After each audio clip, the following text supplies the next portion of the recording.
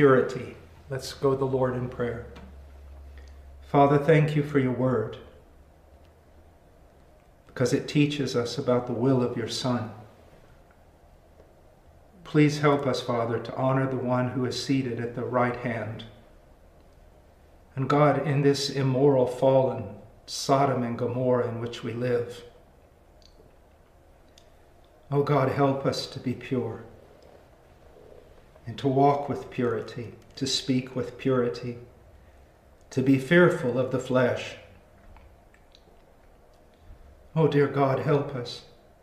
And as the hymn writer said, Lord, never ever let us outlive our love for Thee.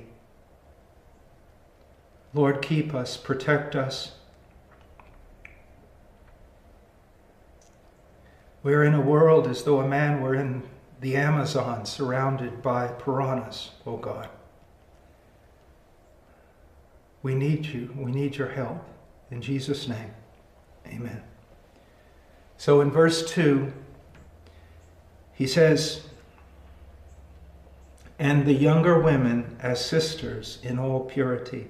Now, he uses the word sisters here, the feminine, of course, of, of brothers in this case, adelphas.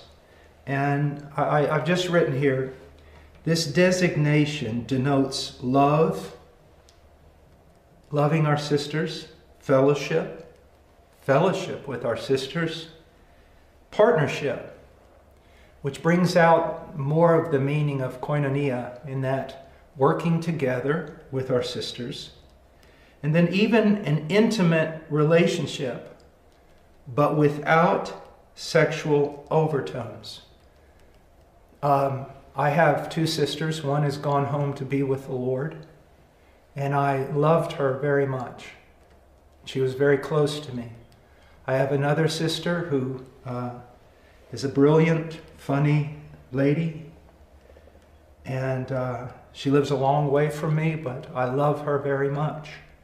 And so we can say that we have an intimate relationship, but there is, there are no of course, sexual overtones. The idea is that the relationship is marked with purity. Now, I want to look at some general principles to begin with. And first of all, they're the same principles of which we have already spoken. Uh, Matthew 23 8, do not be called rabbi, for one is your teacher, and you are all brothers. Then there was Matthew 18, where we talked about we never leave the, uh, the title of child. So we are brothers and sisters with those women who have become Christians. We are, we are brother and sister relationship. They are children of God. And that word means more than just adoption. It's the whole word designates absolute dependence upon God. As they are absolutely dependent on God, we are absolutely dependent upon God. And also, as we saw in Ephesians 18 through 5, 18 through 21, there is a sense of mutual submission. You don't just speak to your sisters in Christ, you listen to your sisters in Christ. Uh, one of the things that has always been a pet peeve for me is that, well, we need to acknowledge this. Number one, there, there is diversity of roles. And that is very, very clear. And even though it goes against our culture and it goes against the nonsense in the world today, there's diversity of roles. Um, there are things that men have been called to do exclusively. So 1 Timothy 2.12, we must always honor. Um, yet at the same time, what I want you to see is that women were created equally as men in the image of God. In the image of God, He created them, man and woman. And so, what does that mean? Although there's, although there's diversity of roles, men and women grow the same way. Did you know that? Theology doctrine, profound truth, prayer. To exclude women from the teaching of theology is absolutely barbaric, unbiblical. uh, it, it's always grieved me that sometimes men get together and they have these conferences on justification, eschatology, ecclesiology, sanctification, the doctrine of Christ. Then you see these women conferences where it's like something, the title of it would be, If the World Gives You Lemons, Learn How to Make Lemonade. That's not what women need, and that's an insult. Women need the same theology as men to grow. Women can know theology deeply and can contribute to the conversation, the theological conversation. And I think that is very, very important. And so be very, very careful of, of uh, the way you, you look at things. It seems to me that on one side there's a, almost a barbaric Neanderthalism if you can make up a word. And on the other side is liberalism that denies the scripture, and we want to avoid both of those. We want to maintain what scripture says with regard to the difference between a man and a woman and the different roles of a man and a woman in the church and in the family. Yet at the same time, fully recognize total equality, and especially that we grow the same way through learning truth truth that is born into our hearts and our minds through the work of the Holy Spirit.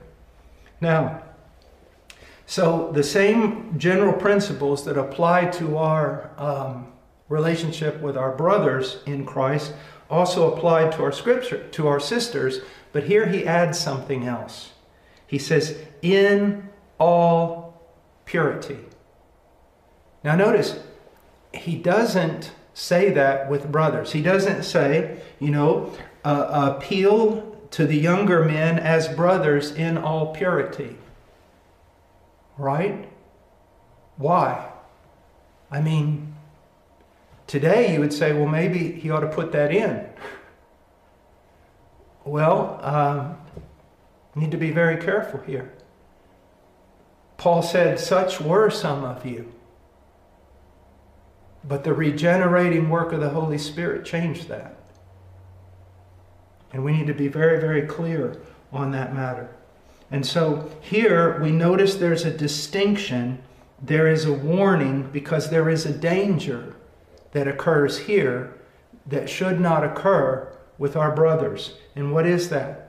The possibility of physical attraction. And so he adds an important element of caution. As with brothers, we're being warned here not to be arrogant, not to be overbearing, but with, si- with sisters, there is an added warning because of the risk of immorality. And if not immorality, of creating affections in a person that should not be there. And this is something that I think a lot of ministers have run into foolishly because they do not practice enough caution. Now, you can tell me that you love your wife. You can tell me that, um, that you have no desire. You can tell me that all your um, affections are pure. Wonderful. That still does not mean that you should not put parameters around you. Around you, around your actions, around your location, around your speech. Be very, very careful, especially when you're dealing with someone who comes to you and they are hurting. And you come to them with truth, with kindness, with mercy, with understanding, and that in itself is wonderful, but it can also create it can create a link, a relationship that can be quite dangerous. And history proves me out on this. So when it comes to dealing with your sisters, you must honor them, you must respect them, you must speak to them, you must listen to them. And that means even learn from them. But you must be guarded. Now, if we go back to Galatians 6 1, it takes on new meaning. Brethren, even if anyone is caught in a trespass, you who are spiritual, restore such a one in a spirit of gentleness each one looking to yourself so that you too will not be tempted. So you're brought into a situation in which you must appeal to a sister in Christ. You need to already have formulated parameters to protect you and to protect her. You should not be meeting all the time. You should not be meeting behind closed doors. You should be counseling with another person, possibly. You should involve wise women, possibly, in the congregation. All these decisions require wisdom. But know this you should not only walk in the fear of the Lord and not only walk in the fear of what the devil can do, you should walk in the fear of you. And that's why he adds here all purity. The word denotes cleanliness especially moral and sexual purity, chastity. Now, he says, in all purity. And I think this is very, very important. He says, in all purity. And I've written here, let your purity be through and through in every interaction with your sisters in Christ. Let purity be the outstanding characteristic of your fellowship with them.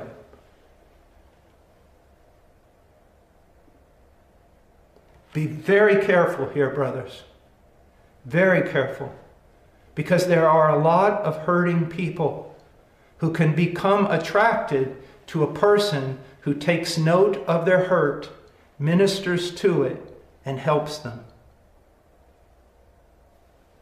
An emotional relationship can be created that should not be. Now, one thing I want you to know the ministry is no place for a narcissist. What do I mean by that? Someone who wants to be the hero for everybody. You are no hero. You were never intended to be a hero, and especially for your sisters in Christ, you are to be no hero. You are to point them to the hero. And you should not be going ever to the daughters of other men and say, if you ever have a problem, come talk to me or to the wives of other men. If you have a problem with your husband, come talk to me. I know that sounds grotesque and I hate to bring it up, but there are men like that. They may not even be immoral men, they just want to be the hero in the story. You are not to be the hero in the story. You are not to be the go to guy. You're not to be the solver of every problem. You're not to take the place of other authorities that have been laid down. You are to point people to Christ and away from yourself. And if you have a church where people are growing in their need of you, you're doing something terribly wrong. Something terribly wrong. As people grow in maturity, they should need less of you because they have more of Christ. Be very, very careful of subverting relationships, of subverting other authorities, as beco- of becoming the prominent person in someone's life. Don't do that. You're on the way to a cult.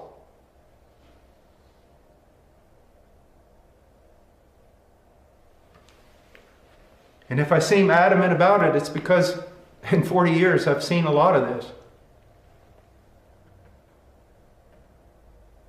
Your desire should be not that they need more of you, but that they need less of you.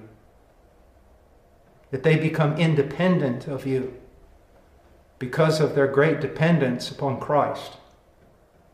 It's very important, very important. Do not become anyone's hero. Now, um, I want to read this again. In all purity, let your purity be through and through in every interaction with your sisters.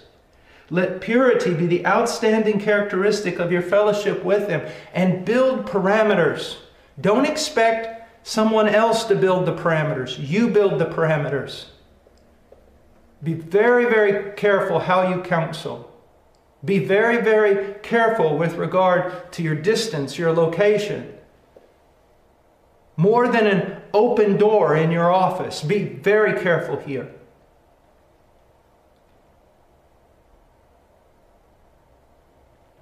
The same applies. I have met, because there are so few fathers today, I've met young men who will, they'll come around another leader who's not their father because they're looking for a hero, they're looking for a father. And it's easy for someone to take advantage of that. But what you want to do is to teach those young men to stand alone with Christ, not to depend upon you. Teach the young women to stand alone with Christ. They have a strength to them. You do not want yourself to become the center of their world. If everything's about the pastor more than everything's about Christ, there's a problem.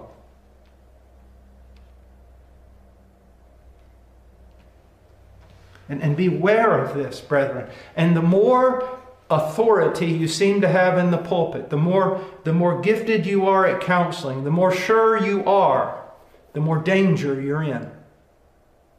So, really make purity the mark. Now, I, want to read one other text here that's important, and that is uh, Ephesians 3, uh, 5, verse 3 through 5. But immorality or any impurity, that's uncleanliness, referring primarily to moral or sexual uncleanliness. He goes, but immorality or any impurity or greed, greed has a lot to do with immorality, must not even be named among you, as is proper among saints. And there must be no filthiness and silly talk or coarse jesting, which are not fitting, but rather giving of thanks. Many men have been trapped by their speech. Many men have been trapped by texting. I say trapped not as a victim, they fell into it. Be very, very careful. Make sure that your fellowship with your wife is very strong.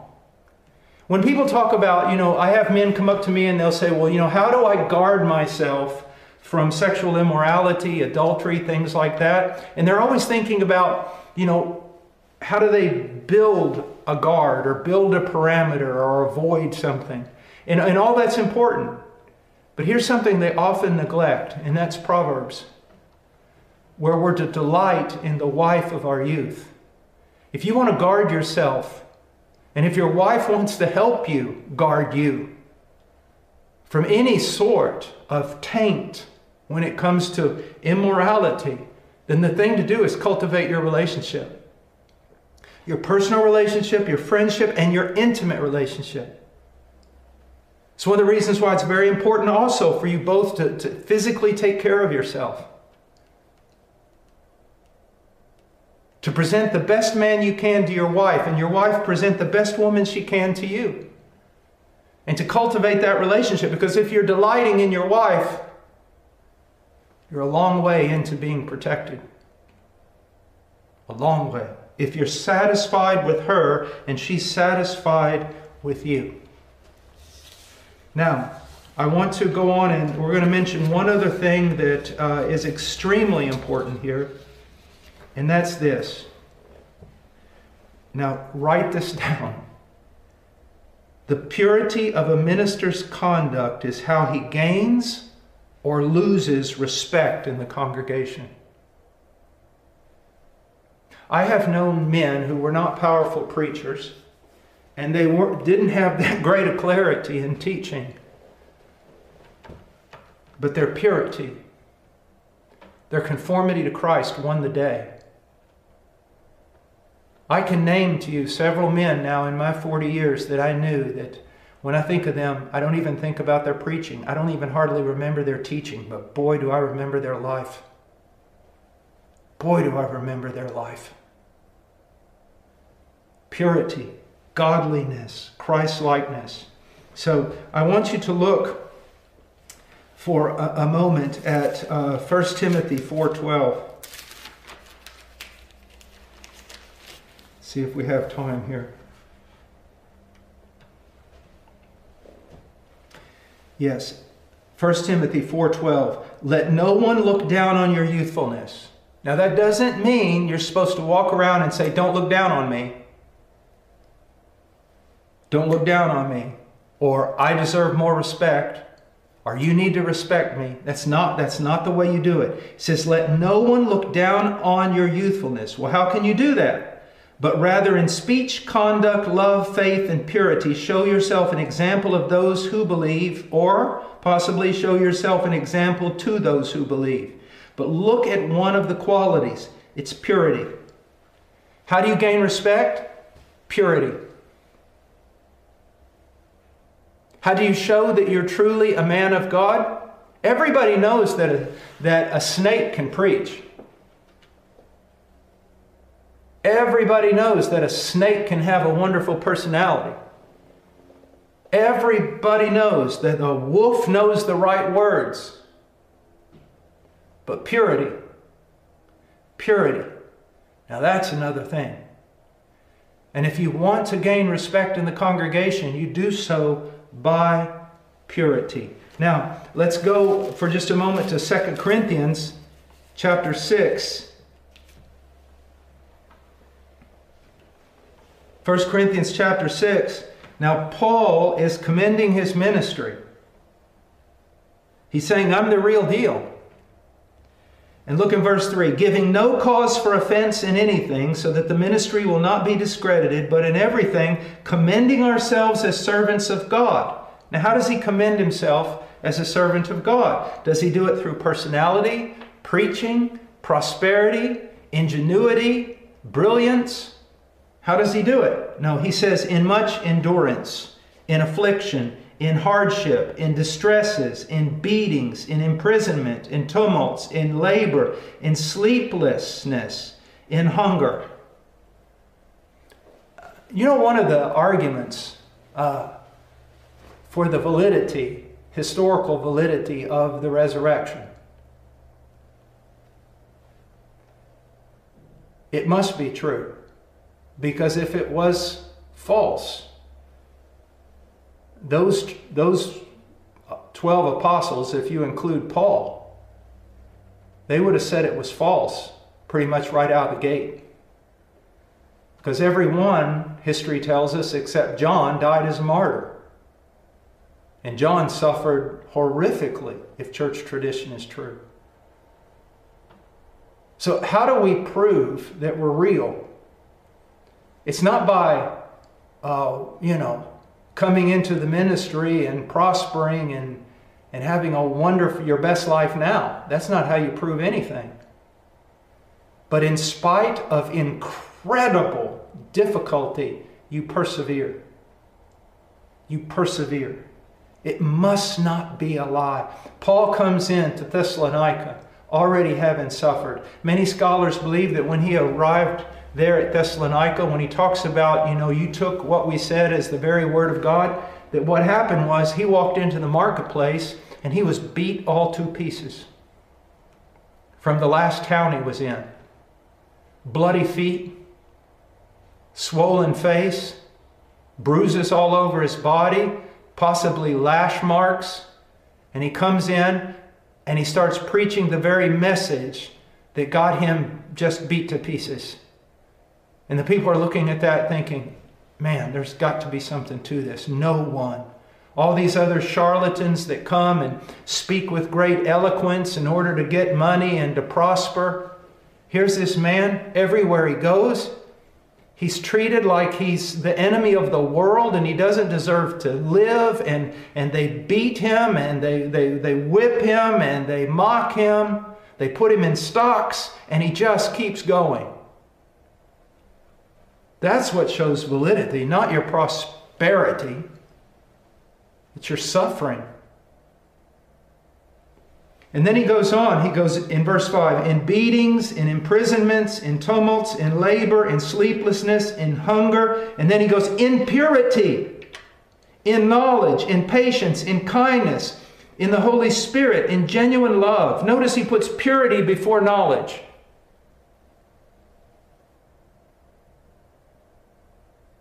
Many of you are seeking to be really good theologians, and that's wonderful. But I've never met a good theologian who's lived up to his theology. And that's not because we're hypocrites, it's just that theology is pretty high. Those demands are pretty high. The true test is not knowledge. True test is purity. Now, to get to purity, you need knowledge. Christianity is not less than doctrine, but it is more than doctrine. I mean, I can pretty much probably, I've never tried it, but I could probably get a parrot to read John Flavel and John Owen and Charles Spurgeon. You can get an AI machine to mock the greatest preachers in the world, to imitate them perfectly. Can't get purity out of them. Purity.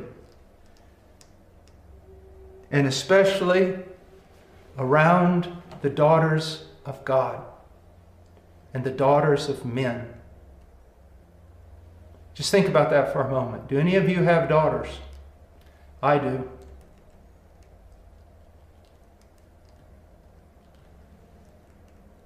Brother Paul, what would you do if I hurt your daughter?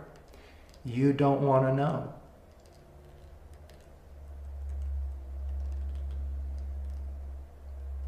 And if I, being evil, could love my daughters that way, cut off my arm, throw myself in front of a train, anything it takes to protect those two little girls.